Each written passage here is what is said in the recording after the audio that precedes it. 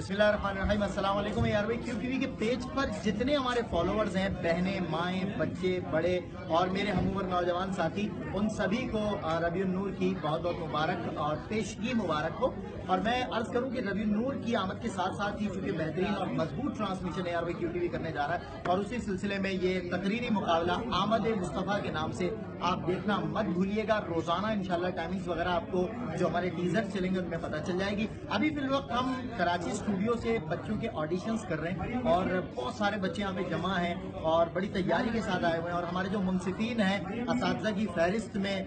جن کی بڑی قدر کی جاتی ہے، بڑی قدر کی نگاہ سے دیکھا جاتا ہے۔ ایک تو ہمارے بہت سینئر اینکر پرسن ہیں، جناب سر محمود غزنوی صاحب، اور دوسری طرف تشریف فرمائے سر ادریس غازی صاحب، جو دونوں کسی تعارف کے محتاج ہیں۔ تو سب سے پہلے میں سر محمود غزنوی سے پوچھوں گا کہ سر، اس اس مقابلے کے حوالے سے کیسا محسوس ہو رہا ہے اور دیکھنے والوں کو کیا رائے دیکھیے، اس حوالے سے یہ ایک بہت اچھی کوشش ہے A R Y Q T V کی، کیونکہ ہمارے ہاں تقریر کے جو ادریس غازی بیٹھے ہیں، انہیں پتہ ہے کہ جو ہمارا زمانہ تھا، اس زمانے میں صرف جو سب سے بڑا فن تصور کیا جاتا تھا وہ تقریر تھی۔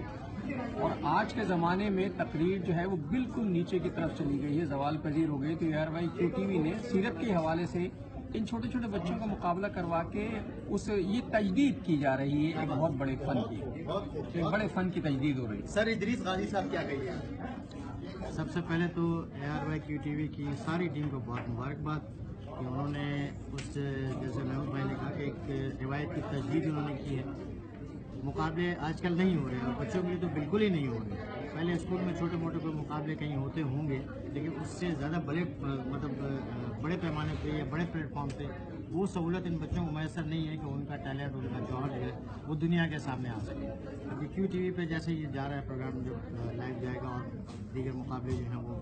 آگے جو راؤنڈ اس کے چلیں گے تو ان بچوں کو نہ صرف یہ کہ ایکسپوجر ملے گا، پوری دنیا میں لوگ دیکھیں گے، بلکہ ان کے اندر وہ کانفیڈنس بھی پیدا ہوگا۔ کہ ابھی تو یہ اسکول لیول پہ ہیں، آگے کالج میں جائیں گے یونیورسٹی میں جائیں گے۔ تو بہت اچھے اچھے مقرر انشاءاللہ اس میں سے نکلیں گے۔ کیونکہ اس وقت